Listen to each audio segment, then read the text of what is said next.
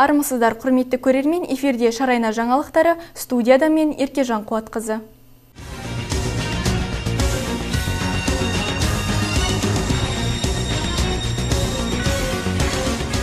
Нұрлан Оранхаев алғашқы жұмыс сапарын Абай ауданынан бастады. Облыс әкімі Абай Шәкір мемориалдық кешені мен Ұлы Абайдың мұражайын аралады. Ол жергілікті тұрғындармен кездесіп, олармен проблемалық мәселелерді талқылады. Сондай-ақ облыс әкімі Көкпекті, Ақсуат аудандардың жағдайымен де танысты. Қарауыл ауылында Нұрлан Оранхаев Абай саябағын, Шыңғыстау спорт кешенін аралап, тұрғын үйлер құрылысының барысымен танысты. Бөрілі елді мекеніндегі Мұхтар Әуезовтің мұражай үй аралау пункттерінің бірі болды мұражай үйінің экспозициясы ұлы жазушы мен ғалымның өмірі мен шығармашылығымен таныстырды. Жол мәселелеріне түсінік бере отырып облыс әкімі абай семей қаласы мен қарауыл ауылы арасында төрт жолақты тас жол салу мүмкіндігін қарастыру қажеттігін атап өтті. Бұл облыс ішіндегі қозғалысты жеңілдетеді және өңірдің туристік орталығы болуға үміткер киелі өлкеге келетін туристер санын ұлғайтуға мүмкіндік береді. Нұрлан оранхаевтың айтуынша қызылорда облысы жаңа облыстың құрылымын қолдау мақсатында абай өңірге сыйлық жасауға дайын екенін білдірген. Облыс басшысы осы мақсатта абай ауданын ұсынды. Жергілікті тұрғындармен болған талқылаудан кейін қызылордалықтардан бұрын қараусыз қалған балалар лагерін қалпына келтіру мүмкіндігі болуы мүмкін. Көкпекті ауылындағы жұмыс сапары барысында жақия шайжүнісов атындағы орта мектебінде болып аурухана жағдай жайлы баяндалды. Аурухананың бас дәрігері әсем рахымбаева облыс әкімінің соңғы жылдары жинақталған және жақын арада шешілуі тиіс проблемаларын сөзге тиек етті.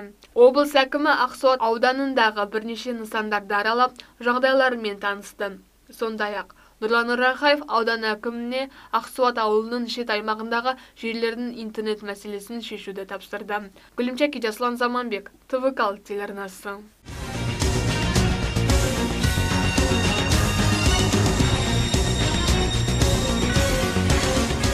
Семейде жылыту құбырларын ауыстыру және 2022-2023 жылдардағы жылыту маусымына қазандықтарды оңтайландыру бойынша жұмыстар белсенді жүргізілуде. Осыған байланысты Семей қаласының әкімі Бақытжан Баяхметов тұрғын үй коммуналдық шаруашылығы және жылу коммуналдық энергетика бөлімімен бірлесіп, қаланың әр бұрышындағы құбырларды ауыстыру жұмыстарының барысын тексерді бірінші кезекте бақытжан баяхметов степной кентіне дейін жылу жолын салу жұмыстарының барысын тексерді. Жылу жолдардың жалпы ұзындығы бір километр 800 метр құрайды. Жылуды және қысымды реттеуді жақсарту үшін бірден екі құбыр салынады. Басты мақсат орта білім беру мектебін жылыту. Мердігерлер жұмысты оқу жылы басталғанға дейін аяқтауға уәде берді.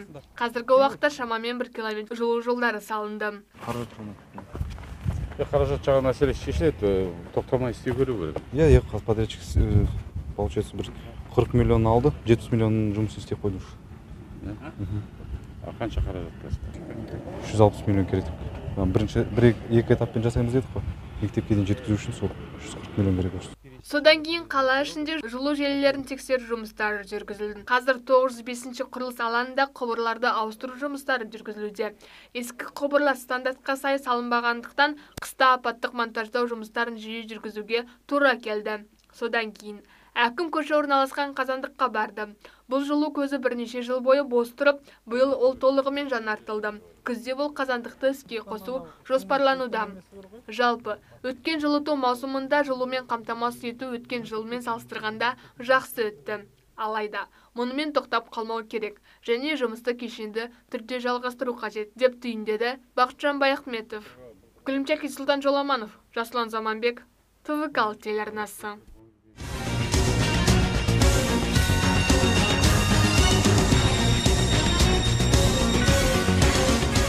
30 маусым күні ұлттық домбыра күніне арналған Семей қаласының облыстық тарихи өлкетану мұражайында киелім сен домбыра көрмесінің ашылу салтанаты өтті. Көрменің мақсаты қазақтың ұлттық мұрасын насихаттау, дәстүрлі ән күй мектептерінің өнер өнегесін паш ету, көпшілік қауымның назарын аударту, қасиетті аспаптың құн дәргейін ұлықтап көтеру. Мына ұлттық домбыра күніне арналған көрмемізді биыл домбыра деп атап отырмыз. Оның баршаңызға белгілі биыл міне бесінші жыл осы тарихи өлкетану музейі ұлттық домбыра күнінің әр жыл сайын осындай кеңейтілген үлкен көрме ашамыз. Мына осы осы жол көрмемізді киелім сен домбыра деп атадық. Бұл көрмеде отыздан астам домбыра қойылған. Ә, көрме жалпы бұл енді ауыспалы көрме деп аталады. Ауыспалы көрмеміз екі ай мына ке- келушілердің сұранысына байланысты екі ай мен үш айдың арасында тұрады. Сондықтан да барша осы ә, телеарна көрермендеріне ә, айтарымыз осы екі айдың ішінде келіп осы семейлік жаңа қандай өнер қайраткерлері болған қандай қоғам қайраткері болған олар домбыраны қаншалықты жан, жандарына серік еткенін білгілері келсе осы өлкетану музейіне келіп осы көрмемен танысатын болса осы экскурс- экскурсия бағытында біз көптеген осы домбыра тарихына қатысты осы домбыраның иелеріне қатысты өнер қайраткерлеріне қоғам қайраткерлеріне қатысты ақпараттарды айтып бере аламыз. Көрме арқылы келушілер түркі халықтарына ортақ домбыра тектес аспаптар, домбыраның құрылысы жайлы, күй дәстүрінің негізін қалаушылар туралы және ұлттық аспапқа байланысты мәліметтер алды. Аталмыш шара көне де киелі аспабымыздың тамыр тарихын, қадір қасиетін жұртшылыққа таныстырып, ұлт аспабына деген сүйіспеншіліктерін оятты. музыкалық аспаптар көп қой соның ішінде мына ұлттық музыкалық аспаптар да өте көп. Сан алуан. Сосын әр халықтың өзінің былай өте сүйкімді аспабы болады музыкалық. Мысалы татарда сырнай башқұртта қурай түркменде дутар қырғызда қомыз мынау тізбектей берсек иә, әр халықтың өзінің бір ерекше сүйкімді аспабы болады. Ерекше сүйкімді аспап болады. Міне біздің халқымызда бұл домбыра. Енді басқа аспаптарда әрине оларда ғажап керемет жетігеніміз бар саз сырнайымыз бар тас сауығымыз бар деген сияқты қобызымыз бар тағы басқа бірақ киелі аспап болып осы ғасырлар бойы осы домбыра. Өйткені домбырада домбырада қаншама күй төгілген. Қазір зерттеушілердің өз белгілісі сол он бес жиырма күй ғой. Мың он бес жиырма мың күй. Ал енді белгісіздер қаншама ақынның қолында да домбыра әншінің қолында да күйшінің қолында жыршының да яғни бұл осындай киелі аспап. Сондықтан мына ұлы домбыра кү- күнінің халқымыздың осы домбыра күні аталып өткені үлкен қуаныш. Қазір бұл халық бүкіл елімізде бұны кең көлемде атап өтеді. Иә домбырашылар сайысқа түседі халыққа қызмет көрсетеді көрмелер ашылады. Міне бүгін осы тағы да біз осы кеңейтілген көрменің куәгері болып отырмыз. Мына жерде осы шараға қатысып осы біздің семейдің тарих өлкетану музейінде домбыралардың жақсы бір топтамасы жасалған көрмеге қойылған. Бұл біздің мақтаншылар әншілеріміз. Болат сванов мәдениет ешекеев санақ әбеуов тұрсынғазы рахимов келденбай өлмесеков тағы басқалар мінекей ақсақалдар аға буын өкілдері бар. Міне олардың бәрінің кәдімгідей осы домбырада шығарған шығармалары бар немесе сол бүкіл өнерін осы аспап арқылы дамытып кәдімгідей жан серігіне айналған енді домбыра ол енді киелі ол мысалы домбыраны тартатын адам иә оны тірі деп қабылдайды Бірнеше жылдық тарихы бар киелі домбырасын Амантай Исаұлы өлкетану музейіне табыстады. Айтуынша домбыраның болашақ буынға берер пайдасы көп. Домбырадан даритын өнер басқаларына тиісті болу қажет деп есептейді. Бүгін де осы ойластыра келе міне осындай енді домбыраны осы музейге табыс ету бір рәсім ғой. Ол керек иә керек. Менің де бір домбырам бар еді сол қолдан жасатқан сексенінші жылдардың ортасында қырық жыл өзіме серік болған күй домбырасы иә. Бүгін сонымен күй шерттім иә сосын бұл домбыраға енді қаншама өзіңнің былай қимас досың болғанмен бірақ ол домбыраны енді одан дарыған даритын өнер басқаларға тиесілі болу керек қой. Сол себептен біз сабақ береміз экспедиция шығамыз археологиялық. Сонда далаға алып шығып жүрдім аямай. Балаларды тартты. Күй шертетін де бар тамаша ән айтатын балалар да болды. Сосын енді ол домбыра кішкене енді климатқа байланысты жауын шашын тағы басқа кішкене ол енді тозды шамалы. Сайрап тұрады. Енді қазір де жақсы. Бірақ бұрын тіпті енді ол ана иә, сондай болатын өз бабында болатын. Соны мүмкіндігінше қалпына келтіріп реттеп дұрыстап міне осы музейге табыс етіп отырмын Қазақ халқының төл өнері жайлы сөз қозғағанда ең алдымен домбыра еске түседі. Домбыраға деген қызығушылық әрі музыкалық аспаптың танымалдылығы ешқашанда тоқтаған емес. Домбыра сан ғасырлардан бері сырын сақтаған. Қазақ даласында кеңінен танымал аспап. Еркежан Қуатқызы, Дәулет Айтказинов, Жасұлан Заманбек, ТВК 6 телеарнасы.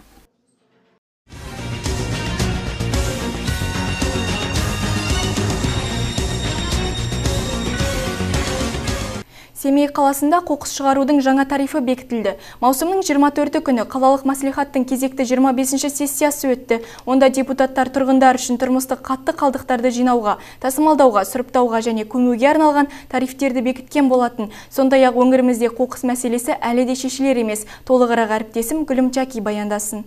Семей шақырындағы бірнеше көшелерде тау болып үйілген қоқыс маңында аяқ басар жер қалмай, күн өткен сайын енді ала полигонға айналуда. Сонымен қатар, тариф бағасы да көтерілген болатын. Жайлы тұрғын үйлер үшін айына бір тұрғынға 420 теңге, жайлы емес тұрғын үй үшін бір тұрғынға 553 бүтін 122 теңге мөлшерінде төлейді. Негізі естіп пе едіңіз? жоқ естімейді Естіген жоқсыз? Негізі дұрыс деп ойлайсыз ғой? жоқ дұрыс емес енді. Бір қалыпта қалу керек па бағасы? негізі иә вообще қазір көп нәрсенің бағасы көтеріліп жатыр ғой тамақтың да бағасы бәрі кө- кө- көтеріліп жатыр бұл дұрыс емес деп ойлаймын Ал негізі семей тазалық қалай жұмыстарын атқаруда? Мусорды шығара ма сіздер? Жақта? шығарады иә жақсы. Ол негізі бұл былай жақсы иә.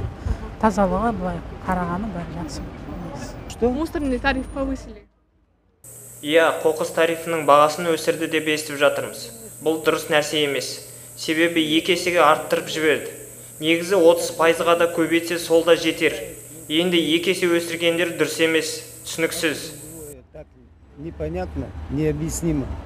Кейбір халық қоқыс тарифінің бағасын көтергеніне наразы болса, кейбір тұрғындар қаланы таза ұстау үшін бұл дұрыс шешім екендерін де айтып, өз ойларын білдірді.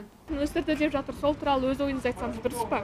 дұрыс енді өсірсе енді мусордың ішінде отырмаймыз ғой көп емес шығар енді қазір бәрі өсіп жатыр ғой Тазалыққа мән беріп, нәтиже шығарып жатқандар да шамалы. Демек, бұл мәселеге басқаша көзқараспен қарау керек сияқты. Бәлкім, айыппұлдың мөлшерін арттыру да оң нәтиже беруде мүмкін. Гүлімчәки Дәулет Әткәзинов, Жасұлан Заманбек, ТВК телеарнасы.